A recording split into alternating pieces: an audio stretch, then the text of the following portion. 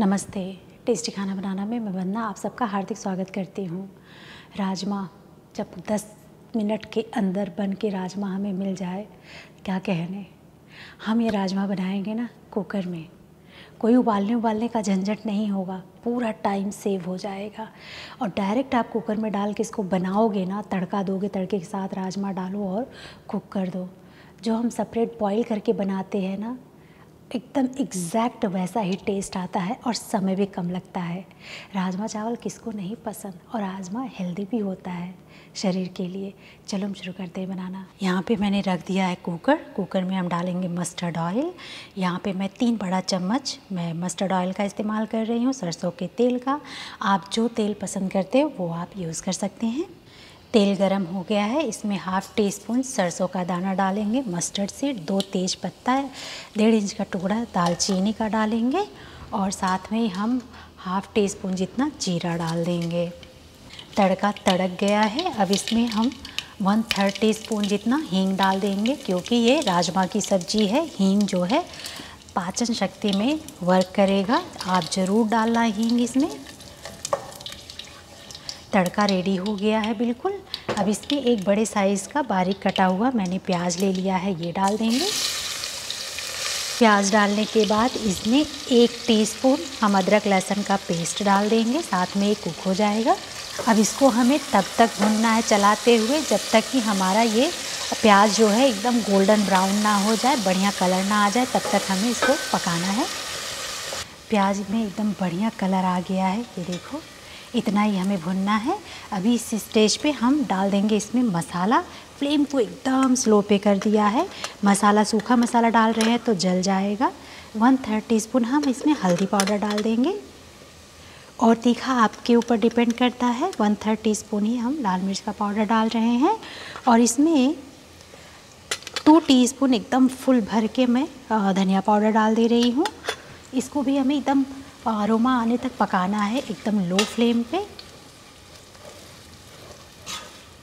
मसाले से एकदम बढ़िया अरोमा आने लगा है, अच्छे से कुक हो गया है। इसमें अब हम दो बड़े साइज़ का जूसी टमाटो ऐसे रफली चॉप कर लिया ये डाल देंगे। ऊपर से हम स्वाद अनुसार हम नमक डाल देंगे। टमाटर भी गल जाएगा और नमक भी अच्छे से कुक हो जाएगा। बाद में कम ज़्यादा होगा तो टेस्ट करके हम फिर से एडजस्ट कर सकते हैं। मैं फ़िलहाल अंदाज के डाल दे रही हूँ नमक, बाद में मैं नहीं डालूँगी। फ्लेम को अब हम मीडियम हाई फ्लेम पे कर देंगे। टमाटर सॉफ्ट हो जाएगा। प्लस साथ में ही, क्योंकि हम इस राजमा को बॉईल करके नहीं पका रहे हैं, मैंने यहाँ पे भिगा हुआ तीन कप भर के राजमा ले लिया है ओवरनाइट सोख करके रख दिया था, अच्छे से फूल गया है। और इसको उबाल के बनाते तो अभी हम इस स्टेज पे नहीं डालते, लेकिन तो थोड़ा सा मसाले में हम भून देंगे ना तो और अच्छा टेस्ट आएगा।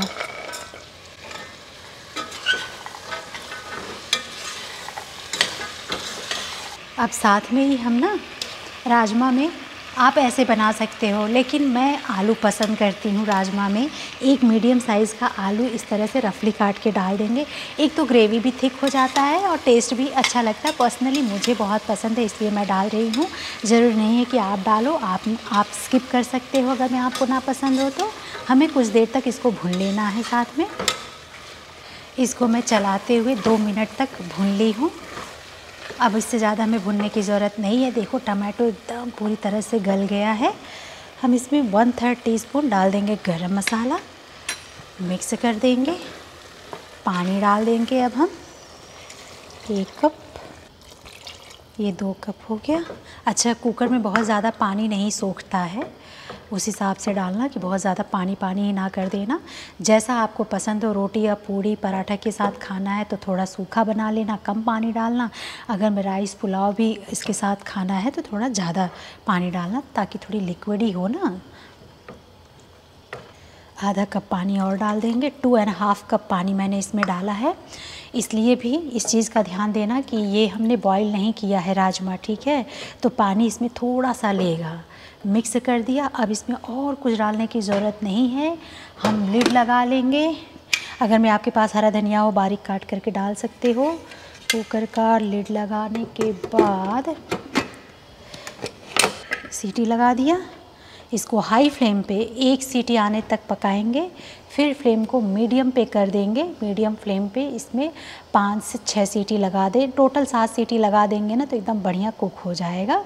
कुकर एकदम ठंडा हो जाएगा, तब हम इसको ओपन करेंगे, उसके बाद आपसे मिलते हैं। कुकर यहाँ पे ठंडा हो गया है, इसको मैंने ऑलरेडी ओपन कर लिया है। हम देखते हैं सब्ज़ी किस तरह का ये पका हुआ है। ये देखो कितना अच्छा कलर आया है ना। ये देखो। कितना अच्छे से खुल के ये राजमा पका हुआ है, मैं दिखा रही हूँ। उबालने की कोई ज़रूरत इसमें महसूस नहीं होगी आपको।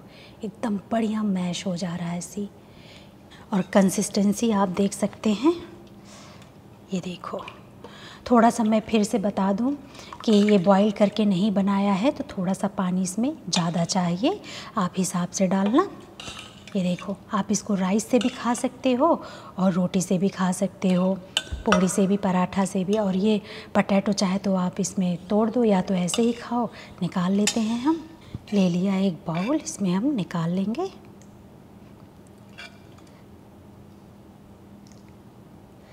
यहाँ पे देखो, राजमा मैंने सर्व कर लिया है। एक प्याज का टुकड़ा ऊपर रख देंगे। पुदीना है, पुदीना लगा देते हैं थोड़ा सुंदर लगने के लिए।